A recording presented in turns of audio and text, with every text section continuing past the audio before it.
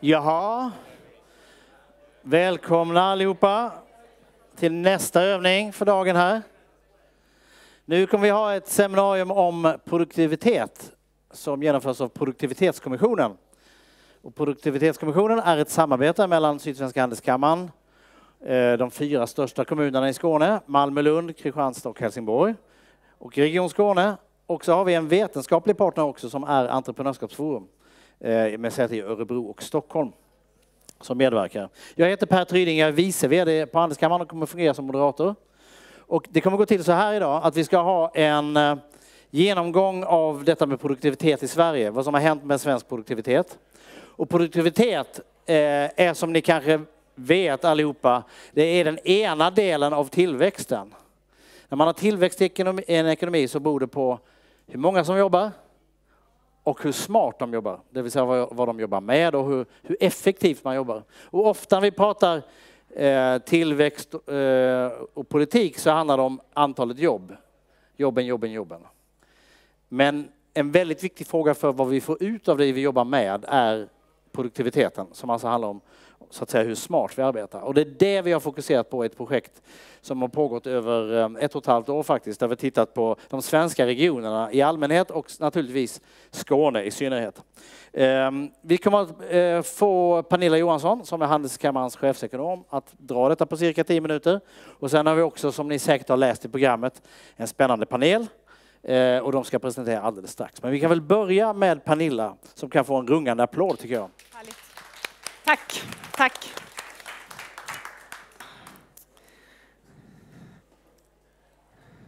Då ska vi se.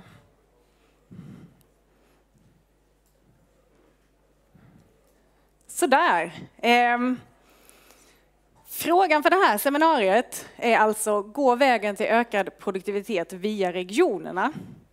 Eh, det korta svaret på den, eh, om det är någon som känner att man funderar på om man ska stanna här eller gå till något annat seminarium, det är jag.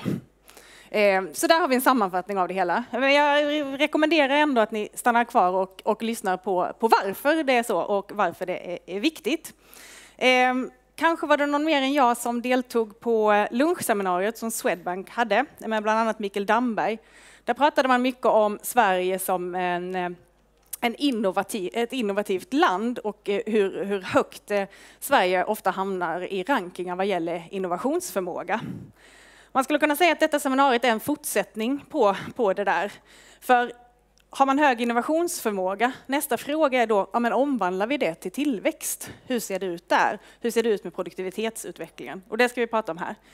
Någonting som man inte heller berörde där som vi kommer att lägga fokus på här, det är, ser det likadant ut i, i hela Sverige idag? Eller vad ser vi för skillnader mellan olika regioner? Så vi tar ett regionalt perspektiv på den här frågan. Eh, varför produktivitet?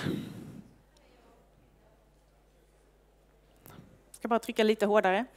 Eh, frågar man företagare, varför är produktivitet viktigt för dig?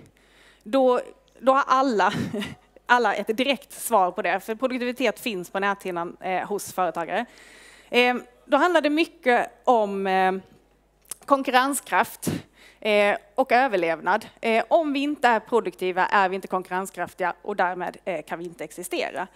Men det handlar också om att eh, få möjlighet att eh, frigöra resurser för att återinvestera i verksamheten, eh, men också omställningsförmåga. Tittar man på det ur ett makroperspektiv och alltså pratar mer om eh, eh, eh, alla, alla företag i en, i en region eller i ett land, då handlar ju produktivitet om det som Per pratade om innan. Ser vi till tillväxten i en region eller ett land så kan vi alltså öka den antingen med ökad sysselsättning eller med, med produktivitet. Och ser vi det i ett längre perspektiv så är produktivitet det som framförallt bidrar till tillväxten. Tittar vi på svensk tillväxt sedan 1980 så eh, står mer än 80 procent av den tillväxten den kommer från, från produktivitet. Eh, Paul Krugman, eh, känd nationalekonom, fått Nobelpriset, han sa eh, en gång att produktivitet är inte allt, men på lång sikt är det nästan allt. Så det är, det är viktigt. Eh, om vi tittar på utvecklingen i, i Sverige eh, sedan 2000, det är ett, alltså ett lite kortare perspektiv, så ser vi att produktivitetstillväxten i Sverige eh, har varit ungefär 1,3 procent. Det är det vi ser, ser här. Eh, medan sysselsättningstillväxten då har varit 0,7 procent. Det är det vi ser här. Och här är det viktigt att komplettera med ett regionalt perspektiv. För det här vi ser här, det, det är ingen bra spegling av, av, vad som händer i Sverige. Om vi börjar med att titta på de regioner som ungefär har en, eh, en produktivitetstillväxt i, i linje med riksgenomsnittet, så måste jag trycka ännu hårdare, sådär. Eh, då ser vi att det finns ett antal län i Sverige som ligger ungefär eh, i linje med riksgenomsnittet vad gäller produktivitet. Men här ser vi stora skillnader i, i sysselsättningstillväxt. Och det här är också en viktig poäng att göra, för hög produktivitet i sig, det är inte alltid bättre. Du kan få hög produktivitet eh, genom att många, många går arbetslösa. Och det är inte dit man vill nå. Det kan också vara så att man tillfälligt har en lägre produktivitetstillväxt för att man får in många eh, med lite lägre produktivitet, eh, tänk unga nyanlända, in på arbetsmarknaden. Så vi behöver titta på båda perspektiven, men här ser vi att det är stora, stora skillnader eh, i sysselsättningstillväxt i de här regionerna. Eh, men det man vill uppnå här så att säga är ju då både en hög produktivitetstillväxt och en hög sysselsättningstillväxt. Här har vi ett eh, bra exempel. Eh. Skulle, finns det någon... Nej, nu. Nej.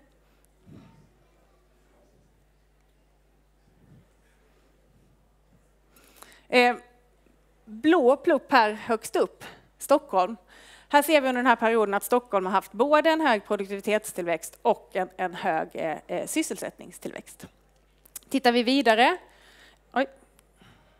eh, så ser vi att det finns ett antal regioner i Sverige som har haft en lägre produktivitetstillväxt än riksgenomsnittet och det är de, de grå vi ser här. Poängen med den här bilden är att visa att det är en väldigt stor spridning både vad gäller sysselsättningstillväxt och produktivitetstillväxt i Sverige. Och det är endast två regioner, eh, Stockholm och Västra Götaland, som både har en högre produktivitetstillväxt och en högre sysselsättningstillväxt än, än riksgenomsnittet. Eh, om vi tittar då på, på de här regionerna så ser vi att de regioner som eh, eh, har haft lägst tillväxt, de eh, eh länen vi såg här som var gråa, de är också de regionerna som har en läg, eh, lägst produktivitetsnivå. Och eh, Stockholm som har haft högst produktivitetstillväxt under den här perioden har också högst, eh, haft högst eh, eh produktivitetsnivå från början. Det innebär, som vi ser tydligt i den här bilden, att, att gapet, produktivitetsgapet mellan svenska regioner ökar.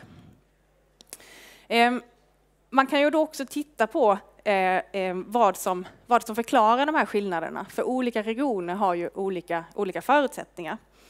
Och det man ser då är att cirka 80 procent av, av de skillnader vi ser mellan, mellan svenska regioner, de hänger ihop med ett antal faktorer. Så de regioner som har en hög produktivitet, de har också en hög andel eh, högutbildade.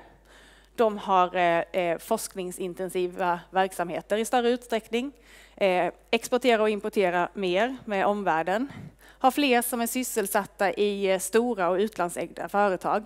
Och vi ser också att eh, regioner som man pendlar mycket inom eller pendlar till är, är mer produktiva. Så det finns alltså ett antal faktorer som man kan se ju skiljer sig i förutsättningar och därmed också att regioner skiljer sig i produktivitet. Ehm, man kan också titta lite närmare på storstadsregionerna. För som jag sa så eh, såg vi att eh, Stockholm och Västra Götaland var de regioner som låg högre än riksgenomsnittet, både vad gäller produktivitet och sysselsättningstillväxt. Men Skåne eh, har, har, inte haft, haft en sån hög eh, produktivitetstillväxt, utan har snarare halkat efter de andra storstadsregionerna. Ser man till eh, eh, eh riket som helhet, så efter finanskrisen eh, och eh, den globala recessionen 2008 så ser man att det tog ungefär tre år för Sverige som helhet att komma tillbaka till samma produktivitetsnivå som, som före krisen. I Skåne har det tagit eh, minst nio år. Så det, vi ser att det, det är en stor skillnad här framförallt efter 2007 i skånsk utveckling jämfört med, med de andra storstadsregionerna. Och det är inte bara en konjunktureffekt utan det vi ser när vi tittar på skånsk ekonomi det är att det som har hänt det är, hänger mycket ihop med den, den tillväxtmotor som man tidigare haft i skånsk ekonomi. Där eh, högteknologisk tillverkningsindustri och forskningsintensiva verksamheter har bidragit mycket till produktivitetstillväxten men inte gör det i samma utsträckning längre. Och en viktig förklaring till det, det är att eh, forskningsanläggningen AstraZeneca har lämnat regionen och att, eh, att eh, Sony Ericsson, som är Sony Mobile, kraftigt har dragit ner på antal anställda. Så där ser man vad den typen av högteknologiska företag kan göra och bidra med till en region och vad det då också kan innebära när den typen av verksamheter inte längre finns kvar. Och ska man då ta ett skånskt perspektiv och fundera på vad, vad finns det då ur ett, eh, eh, eh för Skåne faktorer som är viktiga att, eh, att fokusera på. Eh, då har vi identifierat tre faktorer. Och det första är fler växande företag. Om det var fler än jag som var på Swedbank-seminariet så hörde ni att det, det, är ett bekymmer så att säga i, i hela Sverige. Men tittar man särskilt på Skåne så ser man att andelen sysselsatta i stora bolag är betydligt mindre i Skåne. Så här, här finns, det, finns det ännu mer att, att jobba med vad gäller de här frågorna. Sen ser man två andra eh, områden också, eller ser vi i den här, här studien.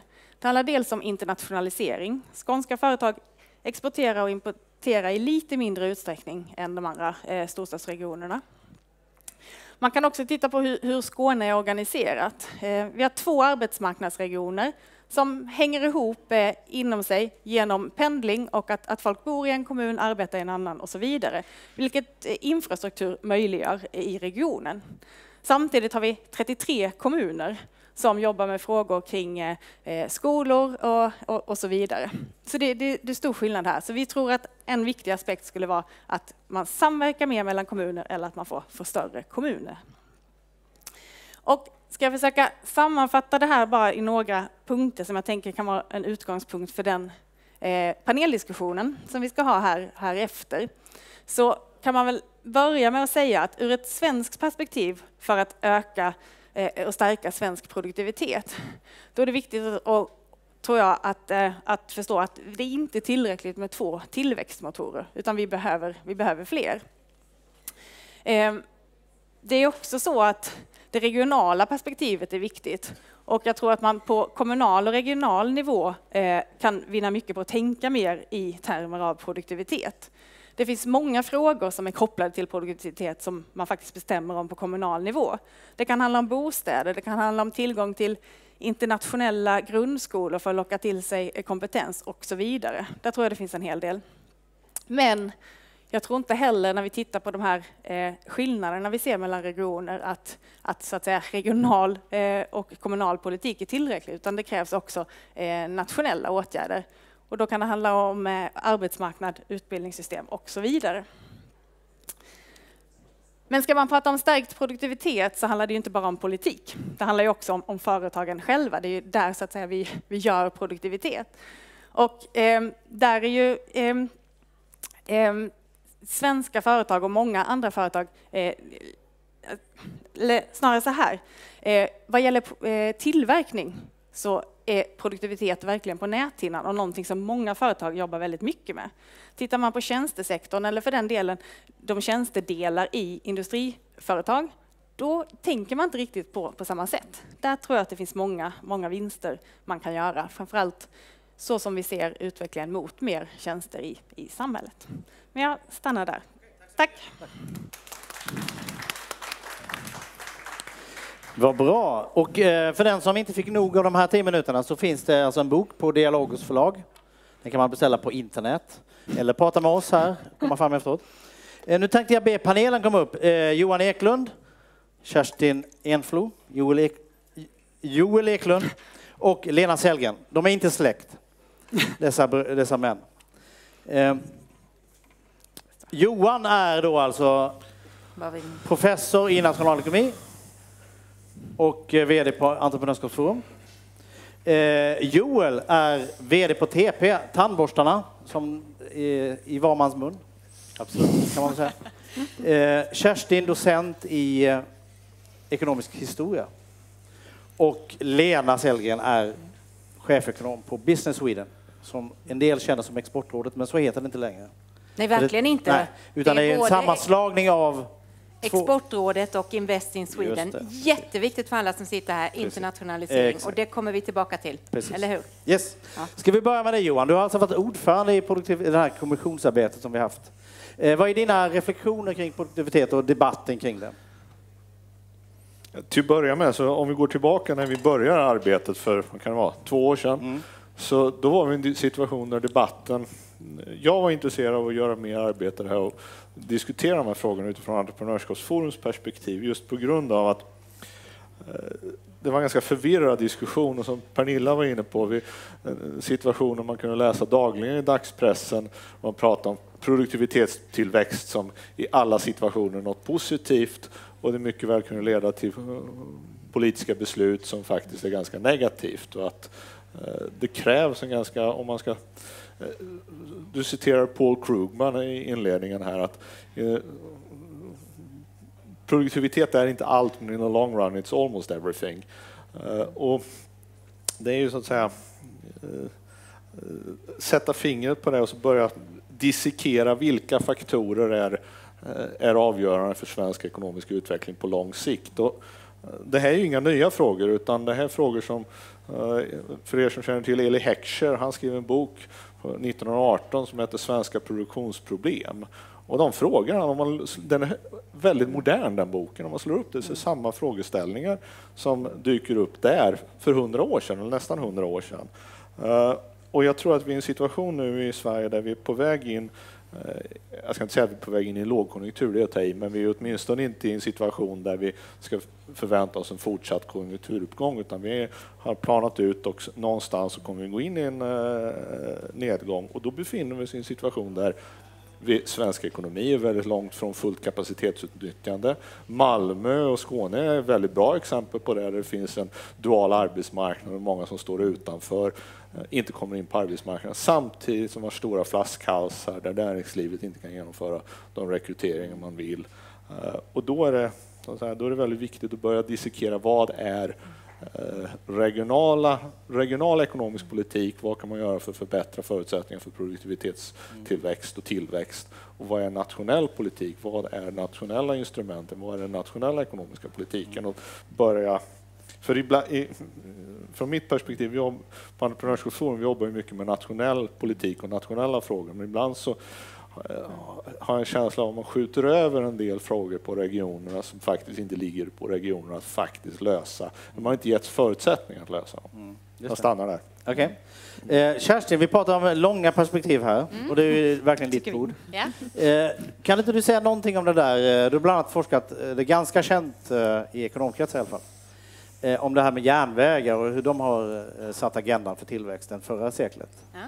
Ja, jättekul att du tar upp Eli Heckscher och de långa perspektiven. Tillväxt är ju verkligen produktivitet i det långa loppet och min forskning handlar om precis det. Eh, jag har tittat på järnvägsinvesteringarna från 1800-talets mitt och när vi byggde de första stambanorna, en jätteinvestering. Den första stora statliga svenska investeringen faktiskt som, som vi vet om.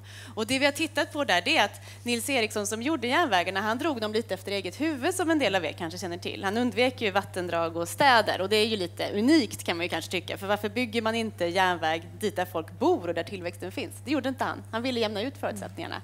Och det vi kan göra det är att använda det som ett historiskt experiment för att se vad järnvägen betydde. Och vi skattar väldigt stora effekter faktiskt på lokal nivå. Så de första 15 åren, de städer som får järnväg, de växer sig 27 procent större än liknande städer som av en slump då inte fick det.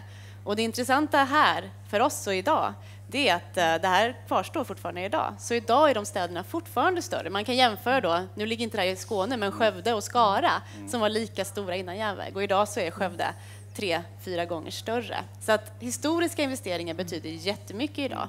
Och idag så ska vi kanske fundera på vad är framtidens teknik? Eventuellt järnvägar eller något annat. Ja, det är på tapeten här i höst inte minst. Mm. Mm. företagsperspektivet då. Eh, TP, tillväxtföretag. Eh, Hur eh, tänker ni kring produktivitet? Vad är dina associationer? Ja, jag instämmer med det akademiska perspektivet här att produktivitet är nästan allt. Det, det är väl så att säga det, det som företagen där och, och går ut på, även om vi i vårt dagliga arbete kanske använder andra eh, ord för det som effektivitet eller mer eh, specifikt leveransprecision eller OEE-tal och sånt där som vi möter i, i tillverkningsindustri då för, för att mäta effektiviteten i vårt resursutnyttjande. Eh, I TPs fall så har ju vår eh, produktivitetsutveckling, man får säga så, det varit väldigt nära förknippad med dels internationalisering och dels eh, tillväxt och automa, eh, automatisering, då, alltså att kunna tillverka fler tandborstar per anställd person och samtidigt då ha en tillväxt så att antalet anställda ändå blir något fler över lång tid. Hur jobbar ni med detta? Alltså är det någonting, tar ni upp det på speciella, har ni en speciell agenda för detta? Ja, det jobbar vi ju alltid från eh, alltså ett eh, veckomöte i skiftet, vid skiftbytet, där man pratar om hur maskinerna har gått det senaste skiftet till övergripande då OEE-tal för, för hela företaget som vi tittar på på ledningsgruppsnivå. Då, så. Mm. så det är ständigt närvarande. Och ni, har, uh, ni är ju också intressanta för ni är ju ett exempel på ett tillväxtföretag. Det har varit export ja. från Sverige till omvärlden. Då kan vi naturligt komma in på Lena då. Mm. Uh, och internationaliseringens betydelse för detta, och produktivitet. Det har jättestor betydelse och den här fina eh, boken här nu, eh, Produktivitetens nya geografi. Jag satt själv med i den här kommissionen och där kommer det ju faktiskt fram att just det här med internationaliseringen är en viktig faktor för eh, produktiviteten och det går ju via kunskapen, innovationerna som då får en liten skjuts här och där ser man ju tydligt för Skånes del att den internationaliseringsgraden om man mäter i export, tror jag det Titta på Pernilla här som har gjort Titta både på export och import. och importen. Men internationaliseringen är då lägre i Skåne, vilket känns lite fel. Jag har själv studerat i vid Lunds universitet och man tänker att det här nära kontinenten borde inte det vara ytterligare internationalisering av Öresundsregionen, hela det här att närheten borde finnas där. Så jag tror att det finns en jättestor potential just med internationaliseringen och då Business Sweden, Sveriges export, investerings eller handelsinvesteringsråd. Vi har ju som uppgift att hjälpa alla företag att nå sin fulla internationella potential, liksom utländska företag att investera i Sverige. Så tillsammans med regionen eh, Skåne, hela Sverige naturligtvis, så ser jag det som en stor utmaning och något kul framöver att kunna ta tag i att någonting måste vi göra, inte bara talk the talk utan också walk the talk. Och så blir det ju. Yes. Vad kan man då göra exempelvis? Eh, för i analysen här så kommer det fram ett antal ganska tydliga saker som, man, som påverkar produktiviteten. Internationalisering är ju en av dem. Vad kan man då göra liksom, om, vi, om vi tar det som, eh, som kommun eller som företag, Lena? Jag tänker här när det gäller internationaliseringen, om vi tar små och medelstora bolag. Eh, nu känner vi ju inte varandra som är här i salen idag, men jag tänker är man eller den som är ett mindre företag eller kanske av lite större storlek så är det ju väldigt kostsamt och kanske också att man inte sitter i det dagliga arbetet och funderar kring det här för att man har helt enkelt inte tid utan fullt upp med att sköta eh, allt annat. Så att, att ta ner trösklarna, att finnas där, goda exempel mm. tror jag är jättebra och att kommunicera det, hitta gemensamma mötesplatser helt enkelt. Mm. Det tror jag också. Men, men kanske mycket det här med att se utifrån hur har andra företag gjort? Eller hur kan jag få ner trösklarna här? Hur kan jag komma med ut? Symbiosen, stora bolag kontra små, medelstora, är också en jätteviktig faktor. Och där kan man ju gemensamt säkert göra mycket. Finns det någonting en region eller kommun kan göra för att stötta detta? Det är ofta, alltså vi hyllar ju företag som åker ut och exporterar, men när en kommunpolitiker åker ut så brukar det snarast vara negativa vibbar i tidningen. Alltså det finns ju en del mm. kontroverser kring det. Liksom hur, hur, hur kan man jobba politiskt med detta? Ja, men det tror jag också man kan göra. Och gäller det Skåneregionen så är det ju många kommuner. Kanske att man borde gå samman. Mm. Eller åtminstone samarbeta, inte samverka, utan samarbeta så att det verkligen händer någonting.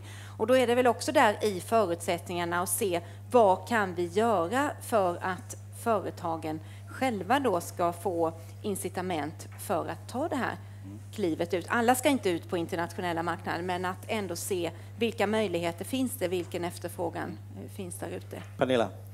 Nej, men jag tror eh, att det finns en väldigt stark potential just i, Skåne och närheten till, eh, till den danska sidan. För i Öresundsregionen har vi ju en hel del branscher liksom, där man kan, eh, kan lära av varandra, där man kan eh, göra, man skulle kunna ha en gemensam internationaliseringsstrategi med fokus på vissa branscher som just den här regionen tillsammans har, har en, mm. En styrka i. Där tror jag att man skulle kunna göra en hel del från, från både från politiskt håll men också såklart i samverkan med näringslivet. Sen eh, kommer vi naturligt in på det här eh, Lena nämner och det tas också upp i boken. Det finns många kommuner.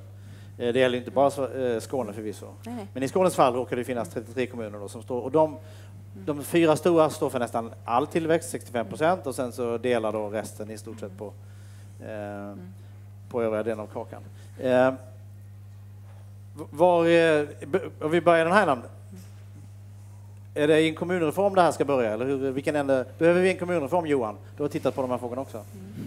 Är det den Nej, inte kan... så mycket forskningsmässigt, men, men det, ju, det handlar om incitament och vi är tillbaka till vad som brukar vara en käpphäst jag har, det är att hur mycket regionalt och vad, vad är kommunalt och vad handlar om nationella incitament. Jag tror vi kanske ska fundera på vad är det för nationella incitament vi har för kommunerna att samarbeta.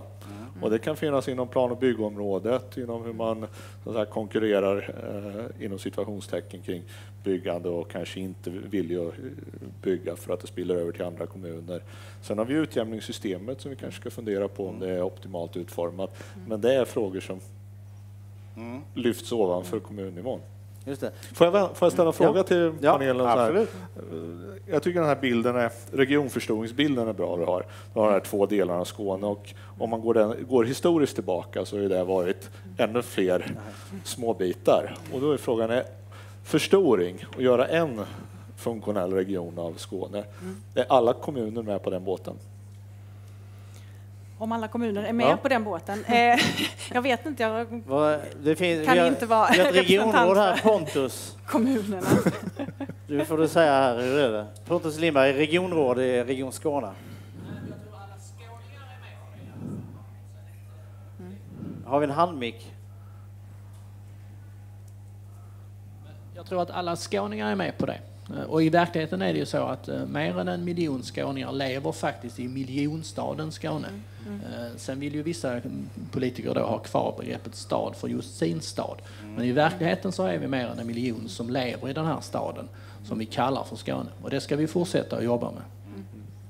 Att jag ställer den frågan har att göra med jag har själv bott i, eller jag är östgöte som ni kanske hör, och jag observerar på nära håll den här eh, debaclet, får man väl kalla det, men kring flygplats. Mm. Jag tror det var tre, fyra flygplatser i Östergötland, både privata och militära, som inte fullt utnyttjas nu. De ligger centralt i Norrköping, Linköping. Och så hade man möjlighet för 20 år sedan att samlokalisera och lägga det mellan städerna, få ut det från innerstäderna och den möjligheten är borta nu. Och det handlar om kommuner som inte lyckades föra samman sina strategier. Men varför hamnar det här är, då såna, är det fångarnas dilemma problemet här, men vad, hur kommer man ur en sån gridlock som det är när eh, ett antal kommuner inte riktigt... Är det staten som har den rollen? Behöver staten peka med hela handen i en, region, i en reform? Eller hur kommer vi vidare? Skapa incitament ska staten göra. Exempelvis hur? Skatteutjämningssystemet är väl okay. ett sånt. Mm. Okej. Okay. Så gör det lönsamt att samarbeta ungefär? Eh, är det... Ja. Så rent kontant lönsamt? Mm. Okay. Eh, bra. Eh, en annan fråga som vi pratat om i den här analysen är, man pratar ofta om småföretag och tillväxt, men här visar vi faktiskt att stora företags tillväxt och befintliga företags tillväxt är väldigt viktiga. Eh, vad kan vi göra åt det? Eh, är det någon som har någon tanke kring den? Eh, Pernilla? Du menar vad man kan göra för att skapa alltså, de förutsättningarna? Ja. Ja. Ehm, ja, jag kom ju då från seminariet eh, som Swedbank höll här på lunchen där de liksom konstaterade det här med eh, vad, vad finns liksom, eh, utmaningen i, i, i i svensk företagsutveckling och det var ju i den här fasen liksom att, att skala upp. Vi har en ganska bra eh, startup-miljö och vi har en del äldre stora bolag men här emellan liksom att, att skala upp. Och där tror jag det handlar mycket om incitament eh, till, till att göra det, men också att man då får riskpremie för att göra det? Vad, vad kan du få ut av att, att du gör de satsningarna till exempel? Så företagsbeskattningsfrågor och så vidare. Till exempel. Ja. Mm. Eh, Men det kan ju också vara lite kontroversiellt kan jag tänka. Alltså en, en sån här eh, detalj i detta är ju till exempel att spin-offs för stora företag Mm. ofta leder till väldigt bra företag. Men det kan inte nödvändigtvis att man som företagsledare vill ha spin-offs av sitt företag. Hur ser du på det Joel? Vad ska man ha för attityd som företagsledare till sånt? Ja, jag tror man ska ha en ganska positiv attityd till det, för det är nog ett kvalitetsstämpel på ens eget företag. Eh, jag tror det är viktigt att eh, kanske rikta om fokus lite grann från de här allra, allra minsta företagen som är väldigt mycket i fokus i, i debatten kring företagande och kanske eh, vidga fokus lite grann på de lite större företagen och de medelstora företagen som är alldeles för få i Sverige. Hur får vi fler medelstora företag och hur får vi de medelstora företagen som vi har att liksom våga ta steget och bli ännu större? Där, där skulle jag liksom vilja höra mer, eh, mer debatt och mer liksom, idéer kring det. Sen tror jag inte det bara det handlar heller om, om liksom policyfrågor och skatt och sånt där, utan det handlar också om ett, ett, ett mindset och vad, vad vi liksom riktar vår uppmärksamhet på, hur vi liksom uppmuntrar våra entreprenörer att liksom ta in riskkapital eller bygga en egen liksom, verksamhet som kan bli stor över, över lång tid. Liksom. Just det. Eh, och det är intressant, alltså, tycker du det finns en kultur där, liksom, där man pratar nästan bara tillväxt i små företag och glömmer bort hela det breda segmentet? Ja, det skulle jag väl säga, absolut. mm. Jo, Johan? Jag delar den uppfattningen att vi och Entreprenörskapsforum, vi gör oss delvis skyldiga till det också. Vi pratar mycket om entreprenörskap och eh, man borde nog förskjuta fokus lite på förutsättningarna att hur tar man de bolagen vidare så att de växer? Då ser vi på tidiga uppstartningsskeden. Sverige ligger ganska bra. Vi är inte absolut bäst i klassen, men vi ligger i mitten av OECD-ligan. Men om vi tittar på övergångssannolikheterna till att växa och bli lite större, så ligger vi sämre till. Och vi har gjort en analys för en tid sedan när vi tittar på andelen inom OECD, eller eh, andelen, per capita-andelen av de snabb, tusen snabbaste växande företagen och satt det i förhållande till befolkningsstorleken i ett land. Och då får man en 45-graders linje där stora länder har en, ganska många. Eh, och eh, har man, ligger man på 45-graders linjen så är man, har man en proportionerlig andel snabbväxande företag. Sverige ligger ganska långt ner där, men på 45-graderslinjen. Och så har vi några stora länder, Tyskland och USA, ligger ovanför 45-graderslinjen. Och det är att de är stora marknader. Och det är här jag tror man behöver formulera policy. Och då kommer vi in på export och importfrågor. Hur, hittar man för, hur kompenserar vi för att Sverige är ett litet land för att ska, skapa en större tillväxtmarknad så att vi har, så att säga, vi hamnar ovanför 45-graderslinjen. Och där möjligen kan exportstrategier och annat komma in. Just det. Och för väldigt många eh, mindre företag så är ju nästa steg att gå internationellt. Det är ju liksom ofta det som är liksom det trappsteget Ja. från, från att vara ett, ett, ett litet företag som står och stampar till att bli ett större företag. Väldigt, väldigt ofta är det så. Precis. Lena? Jag tänker där att man ändå behöver, även om regelverket måste vara eh, utformat så att det ger incitament, så tror jag också att man behöver fundera väldigt mycket på drivkrafterna och göra det här i dialog med företagen för att förstå vad det är. Och det gör vi ju. Vi gör ju massor av sådana studier, kanske både i akademin och vi som är mer policyinriktade. Men där tror jag är en väldigt, väldigt viktig del i det, att eh, börja förstå. Och sen även eh, när man tittar på då mindre eller växande företag. En förutsättning är ju att man är fullt ut digitaliserad. Kanske kunna ta rygg på de större bolagen. Återigen det här med symbiosen. Stora och små och medelstora företag, att det faktiskt finns någonting att hämta där. Så digitaliseringen är nödvändig även när det gäller hållbarhet. Och det är ju sånt som Sverige ligger i framkant när det gäller de här delarna. Och sen vad man än kallar det här, kanske internationaliseringsstrategi är bättre än en ren exportstrategi eftersom det handlar om både att hjälpa företagen att omsätta det man då har att erbjuda, en produkt, vara eller tjänst eller en kombination av det här ute på internationella marknaden men även då att locka hit till Sverige. Det för ju med sig export i sig. Just det. Mm. Ehm, vad är skälet till att vi fokuserar så mycket då på de här allra minsta, inkubatorer och eh, forskarparker och så vidare? Va- Varför har vi hamnat där och inte där vi borde vara? Är det någon som har något bud på det? På de växande tänker du då? Ja, ja, ja, precis. Det växande stora företag. Så det- Vi lägger ju rätt mycket resurser Mm. på startups. i Sverige? Inget bra svar på det. Men det, nej, men jag tänker bara, eh, jag menar för att, för att kunna ha de här som också sen ska växa så måste du också ha startups. Mm. Men sen tror jag att man har fastnat där i tanken. Okej. Man började där och sen så eh, pratar man väldigt mycket om det. Sen har man Mm. Inte riktigt inte liksom vidare, tänkt liksom. så att eh, nästa steg. Ja, men Jag tycker det här med startups är jätteviktigt och jag kan förstå fokuset från ett liksom, långsiktigt perspektiv. Alltså de nya idéerna, den nya tekniken, det är ju den som driver produktiviteten och produktiviteten driver tillväxten. Så att ett stort fokus på startups, det är ju, sunt. Och det är ju ett sundhetstecken att Skåne har startups. Det är ju det som Absolut. man ska slå vakt om i Skåne. Sen är det ju väldigt förvånande att det inte går bättre för Skåne. Det får jag ju faktiskt säga med de siffrorna jag har tittat på och att det är så att Stockholmsregionen faktiskt drar ifrån. Och här behövs ju såklart en strategi. Vad, vad är det som behövs? En större marknad? Mer, vad, vad är det som Vad är kärnkomponenterna i den här strategin tycker du? Nej, men jag skulle väl tänka att det måste till en, alltså en större, kanske en större marknad, någon form av, ja, att ta tillvara på startupsen så att de är kvar i regionen, föreställer jag mig. Time to market som det heter. Ja, Ja, man- sen kan man väl lägga till även med, eh, som Pernilla inledde med också, att man har tappat både läkemedelsindustrin och eh, telekom. Det ko- kommer tillbaka lite i nytt som poppar upp och man har det här forskningscentrat eh, ESS, E- ESS, exakt. Och det tror jag också är viktigt för det är innovation, forskning, utveckling, samarbeten där skulle jag tänka och eh, gärna i samarbete i regionen. Hela Öresundsregionen är ju jätteviktig i det här sammanhanget för att där har man tillgång till en mycket, mycket större marknad bara i det. Sen är det kanske då inte enkelt att få det här att verkligen hända, men där tror jag finns en potential. Eh, tiden går fort. här. Det kanske finns någon fråga här i salongen. I så fall kan ni vifta. Eh, annars, om vi ska ändå försöka summera här eh, policymässigt. Eh, I vad mån äger vi egentligen verktygslådan? Vi, vi har ganska bra bild av vad som driver produktiviteten. Hur mycket av detta kan vi faktiskt påverka om vi inte säger lokalt och, och nationellt? Och hur mycket är att eh, eh, det finns så att säga, en global utveckling där man så att säga, hänger med så gott man kan. Alltså, vad kan man åstadkomma här? Finns det någonting tydligt man kan göra? Eh, om ni nu får bli eh, regeringschefer, Joel, om du, nu är du statsminister. Det skulle vara olämpligt av väldigt många skäl. majoritet. Du har egen majoritet nu här.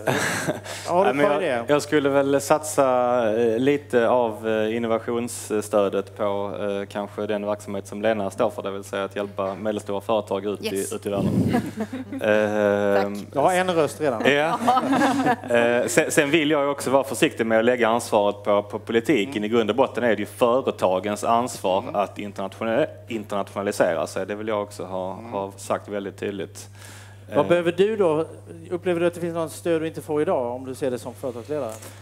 Ehm, ja, men jag, jag tycker att man kunde fått, ehm, alltså, jag kan ta ett konkret exempel, det är litet kanske då, men, men Business Sweden eh, och dess föregångare Exportrådet, eller halva dess föregångare, eh, hade ju tidigare eh, mycket fler, alltså mycket, mycket bredare liksom, geografiskt eh, nätverk av, av anställda, uppfattar jag i alla fall, jag kanske har fel. Men, Vi men, finns på 50 marknader ja, fortfarande. okej, men bemanningen ute i världen var starkare förr, eller hur? Jag har varit ett och ett halvt år, men i viss utsträckning, ja. Ja. Vi tolkar det som ett ja. Ja. Och de här människorna som jobbade ute på fältet var ofta väldigt värdefulla i att hitta kontakter lokalt och de människorna var ju också en resurs för exporterande svenska företag att sedan anställa i senare skeden av sin, eh, sina karriärer. Vi har svårt att hitta internationella profiler, lustigt nog, i, i Skåneregionen. Det är en bristvara på, på arbetsmarknaden, genuint internationella profiler. Många som har liksom nordisk erfarenhet eller delvis europeisk erfarenhet. Väldigt ovanligt med genuint internationella För att rekrytera in i er verksamhet. för att rekrytera in till vår verksamhet. Precis. Bra. Ska vi ge makten till Johan nu då? Du, så Lena, du får makten snart. Eh, nu får du vara premiärminister. Då kunde regionerna känna sig rätt lugna till att börja med, Ja. för jag skulle börja med den nationella politiken Ja. och börja med de stora flaskhalsarna i, eh, i svensk ekonomi. Kompetensförsörjning, arbetsmarknadens funktionssätt, skattefrågorna och så vidare. Och det skulle jag börja med de, den listan. Sen så skulle det kanske komma ner på regional nivå. Det blir en kommunreform då? Skapa incitament för att Ja, göra du var inne på det. Mm. Bra. Lena, nu har du makten. Nu har jag makten. Ja, men då blir det fokus på ett sammanhållet Sverige. Det tror jag väldigt, väldigt starkt på.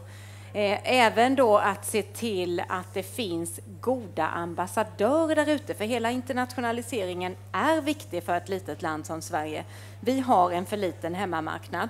Vi skulle satsa mycket på kunskap, innovation och se till att det finns goda exempel och goda ambassadörer där ute så att vi verkligen walk the talk. Bra, tack. Okej, ska vi eh, ge makten till, till eh, Kerstin? Oj, oj, oj. Ja, som ekonomhistoriker så jobbar jag ju inte med policy så, men jag kan ju drömma mig tillbaka då till liksom förra seklet eller förrförra och tänka att de här stora politikerna, eh, finansminister Johan Gripenstedt som vågade satsa, vågade då till exempel bygga en stambana när väldigt många människor sa nej, vi ska utveckla kanalväsendet. Liksom. Ett framtänk och våga satsa lite och riskera lite, det tror jag är viktigt i en global värld. Lite mod helt enkelt. Ja. ja. Johan? Bara en kommentar, du jobbar visst med policy. Frå, frågan om att lägga järnvägen vid en sjö eller vid, långt från Ja. en stad. Menar, generaliserar du det så är det ju brännhet fråga. För hade jag varit i den situationen när det där förslaget kom på bordet hade jag sagt, är ni helt galna? Kan inte lägga järnvägen så. Så det är policy. Ja. Ja, Men vi vet ju inte heller vad som hade hänt om man hade lagt järnvägen Ja. där. Det är väl egentligen en Exakt. jätteintressant fråga i, i sammanhanget. Vad hade hänt? Och vi vet att de eh, Det- städerna det är drog nytta av det. Men, eh, ja. Kontrafaktisk ekonomisk historia, ny disciplin. Jo, men om man ska dra det nu till, Ja. ja. vad betyder det här till exempel Ja. för en höghastighetsbana så är det ju den frågan man också behöver Om vi hade haft ett järnvägsseminarium så hade Joel haft en idé där om en järnväg också, va? Till, eh, till industriområdet. Ja, absolut. Station i Fosie. Ja, ja. Ja. Eh, Pernilla, om du nu avslutningsvis får eh, makten i tre och en halv minut. Ja, ja ehm, jag tycker att det är svårt. Jag för- förstår att man liksom, eh, det är svårt att veta var man ska börja. Johan börjar liksom på den nationella nivån. Eh, det, det, det tror jag liksom är, också är viktigt. Men någonting som jag upplever när man pratar liksom om hur ska vi eh, stärka Sverige, vad är det för reformer som är viktiga, eh, så i den diskussionen glömmer man det regionala perspektivet. Eh, som sagt, seminariet jag lyssnade på precis, där vi står och säger hur innovativt Sverige är, ja. Men om vi tittar på skillnaden mellan olika regioner, det där måste vi också ha med oss i policyperspektivet. Eh, och, eh, det är lätt att säga att man ska ha det, frågan är hur, hur man gör det. Men jag tror också att det är viktigt att man eh, hittar incitament för att man jobba mer tillsammans men kanske också flyttar en del makt dit, dit man faktiskt kan påverka. Vi har ju ett system i, i Sverige idag där vi har mycket nationell makt och sen har vi lite regioner. Timglasmodellen i princip, alltså mycket kommuner. Jag tror att det finns vissa frågor som, som behöver eh, eh, lyftas till, till andra nivåer helt enkelt. Okej, tack. Jag tycker vi tackar eh, Pernilla och panelen med en applåd. Man måste nämligen hålla tiden här. Och eh, här är boken som sagt. Eh, på en hemsida nära er. Det är bara att googla på den eller komma fram efteråt. Så tack så mycket. Mm. Tack. Tack.